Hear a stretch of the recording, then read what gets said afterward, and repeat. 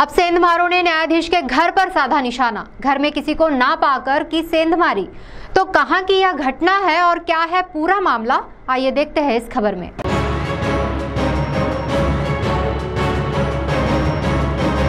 न्यायाधीश के घर में चोरी होने की खबर सामने आई है। प्राप्त जानकारी के मुताबिक परोरा शहर में किराए से रहने वाले न्यायाधीश बाहर गाँव गए थे। घर में किसी को न पाकर चोरों ने डांव साधा। घर में रखे सोना चांदी, नगद राशि ऐसे हज़ारों रुपए का माल चोरों ने जब्त किया। इस घटना से ज़िले में खलबली मची है। पुलिस ने घटना घटनास्थल पर पहुंचकर जाँच शुरू की है। ज़िले की सीनियर डिवीज़न के दीवानी न्यायाधीश तथा न्याय दंडाधिकारी डी आर पठान यह वरोरा शहर के देश पांडे पेट्रोल पंप के पीछे ओम शांति नगर के चंद्रकांत फुसदकर इनके घर कई दिनों से किराए से रह रहे हैं। कुछ दिन पहले पहले ही वे बाहर गाँव गए थे। चोरों ने घर में किसी को न पाकर मौके का फ़ायदा उठाया और घर का ताला तोड़कर घर में प्रवेश किया। घर में रखे 12 ग्राम सोने की चैन, दस हज़ार नगद, सऊदी अरेबिया के 500 और 200 रुपए के डॉलर चोरी किए। घर में वापस लौटने पर चोरी होने का न्यायाधीश के ध्यान में आया। उन्होंने बरोरा पुलिस में शिकायत दर्ज की। बरोरा पुलिस ने घटनास्थल पहुँच निरीक्षण किया। निशान तज्ञ साथ ही श्वान पथक को पाचारण किया गया। श्वान पथक घटनास्थल पर दाखिल हुआ। घटना की जाँच वरोरा पुलिस स्टेशन के पुलिस निरीक्षक अमोल काचोरे कर रहे हैं।